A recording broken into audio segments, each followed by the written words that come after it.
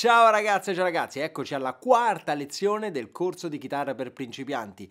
Se stai guardando questo video su YouTube, sei capitata o capitato qui per puro caso, sappi che questa, questo video fa parte di un corso che puoi vedere integralmente qui su YouTube oppure sul mio blog. Ma se vieni a vederlo sul mio blog lo trovi organizzato in maniera più ordinata e inoltre hai accesso a del materiale aggiuntivo, cioè PDF stampabili e altri video.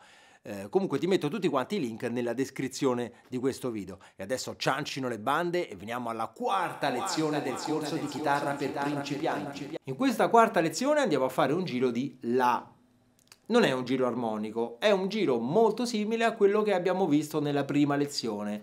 Nella prima lezione ti ricorderai che abbiamo fatto un giro che abbiamo chiamato di La settima.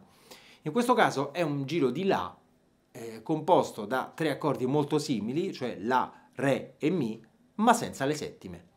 Se da un punto di vista strettamente armonico, diciamo così, si tratta di accordi più semplici, da un punto di vista pratico, cioè dal punto di vista di cosa dobbiamo effettivamente andare a fare con la mano sinistra, si tratta di accordi un filino più complessi, nel senso che l'accordo di La settima si fa utilizzando solo due dita della mano sinistra eh, e invece l'accordo di La senza la settima si fa utilizzando tre dita. E lo stesso discorso vale per l'accordo di Mi. Mi settima si fa solo con due dita, Mi senza la settima si fa utilizzando tre dita. Ma insomma, sono accordi comunque molto facili. Per quanto riguarda la scansione del tempo, quindi del plettro e della mano destra, andiamo a uh, organizzare le pennate in un modo diverso da come le abbiamo organizzate nelle prime tre lezioni, perché nelle prime tre lezioni abbiamo preso come riferimento il numero 4 o comunque il numero 8 che è un multiplo di 4. Invece in questo caso come riferimento prenderemo il numero 6, quindi le nostre eh, pennate saranno organizzate a, a, gruppi di 6. Prima di andare a vedere il dettaglio di cosa dobbiamo fare con la mano sinistra e cosa dobbiamo fare con la mano destra, andiamo ad ascoltare cosa dobbiamo suonare. Questo è il giro. 1, 2, 3, 4, 5, 6,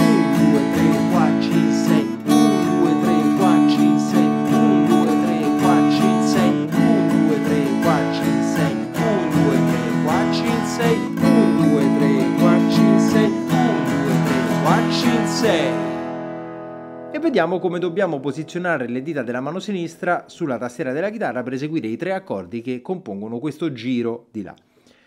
Innanzitutto partiamo con l'accordo di La che si fa così, mettendo il primo dito sulla quarta corda al secondo tasto, il secondo dito sulla terza corda al eh, secondo tasto e il terzo dito, cioè l'anulare, sulla seconda corda sempre al secondo tasto. La sesta corda non va suonata, ma come abbiamo visto per l'accordo di La settima, si tratta di un Mi e il, la nota Mi fa parte dell'accordo di La, quindi se la suoni non è un dramma.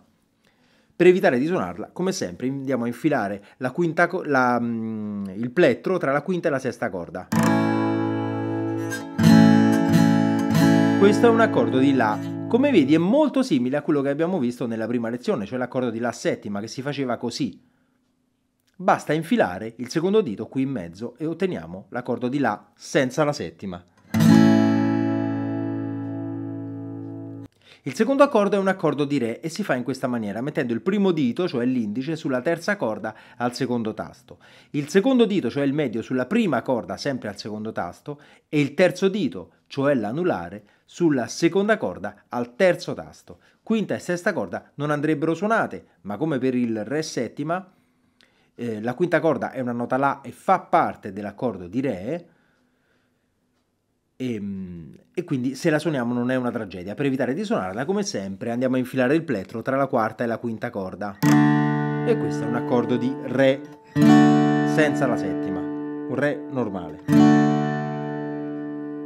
Il terzo e ultimo accordo di questo giro è un accordo di Mi e si fa così mettendo il primo dito, cioè l'indice, sulla quarta corda al primo tasto, il secondo dito, cioè il medio, sulla quinta corda al secondo tasto e il terzo dito, cioè l'anulare, sulla quarta corda sempre al secondo tasto.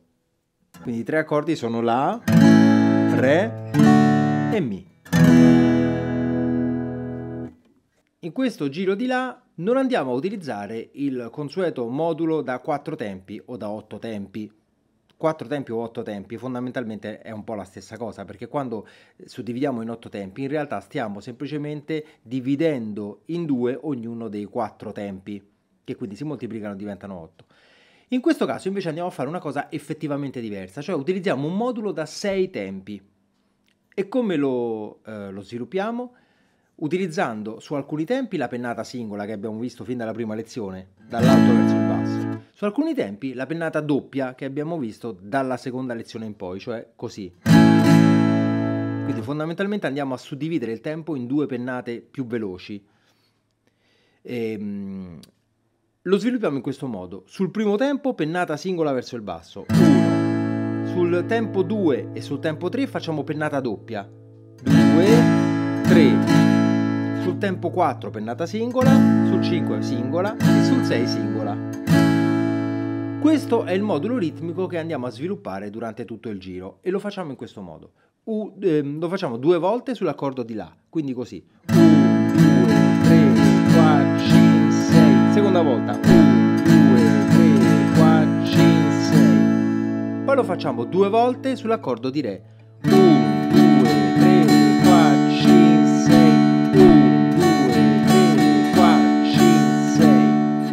lo facciamo una volta sull'accordo di La 1, 2, 3, 4, 5, 6 una volta sul Mi 1, 2, 3, 4, 5, 6 e di nuovo una volta sulla 1, 2, 3, 4, 5, 6 e una volta sul Mi. 1, 2, 3, 4, 5, 6. Questo è il giro. Adesso andiamo a mettere insieme mano destra e mano sinistra, vediamo come coordinare il tutto.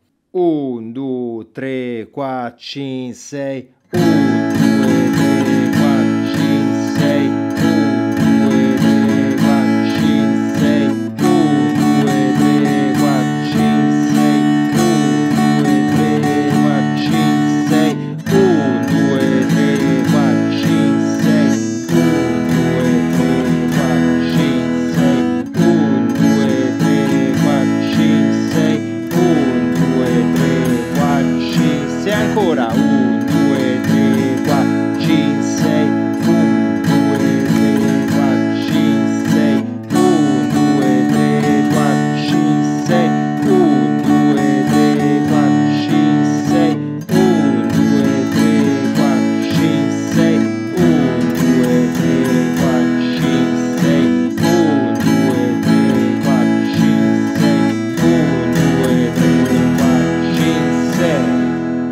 ragazze e ragazzi, grazie per aver pazientato fino alla fine di questo video, grazie soprattutto a quelli e a quelle che hanno visto tutti i video di, di, questo mini corso, che in realtà non finisce qui. Se vi va potete venire sul mio blog, lì c'è altro materiale, bisogna iscriversi, ma ovviamente l'iscrizione è gratuita. E ci stanno altre video lezioni, ci sono pdf stampabili, ci stanno per esempio, un, ho fatto una video lezione per, dove spiego un esercizio per eh, sviluppare eh, la tecnica del barré che è sempre una cosa un po' ostica per i principianti perché bisogna sviluppare un po' di forza nella mano sinistra e lì spiego un esercizio per velocizzare l'apprendimento eh, di, di, della tecnica del barré in modo da farlo completo e pulito. Poi ho fatto un altro video in cui eh, spiego come si fa a inventare un ritmo da tenere con la mano destra, quindi se poi vuoi studiare delle canzoni in maniera autonoma, dice come faccio a gestire il ritmo con la mano destra, in quel video te lo spiego, riassumo i concetti fondamentali. E poi ci stanno i pdf di scale, infografiche, poi ci stanno i pdf con i giri di accordi che abbiamo visto in questo corso, così quando vuoi ripassare, non è che devi stare a riaprire YouTube, rimetti il video nel punto preciso in cui spiego quel determinato passaggio, c'è il PDF stampabile davanti, te lo metti davanti e, e così eh, a colpo d'occhio velocemente ricordi cosa devi fare. E, ehm, e poi ci stanno le canzoni da suonare, faccio, continuo a fare video tutorial di canzoni e ci stanno anche i PDF con gli accordi eh, relativi a quei video tutorial. E quindi vieni sul mio blog se non l'hai mai se non l'hai mai fatto, fai l'iscrizione al mio blog e così hai accesso a tutto questo materiale che poi aumenta col passare del tempo. E se non hai mai fatto, fai anche l'iscrizione al canale YouTube, perché nel frattempo io continuo a fare eh, video tutorial eh, gratuiti su YouTube e così eh, se ti iscrivi quando escono li puoi vedere e trovare più facilmente. Eh, va bene, grazie ancora e ci vediamo alla prossima, se ti va. Ciao!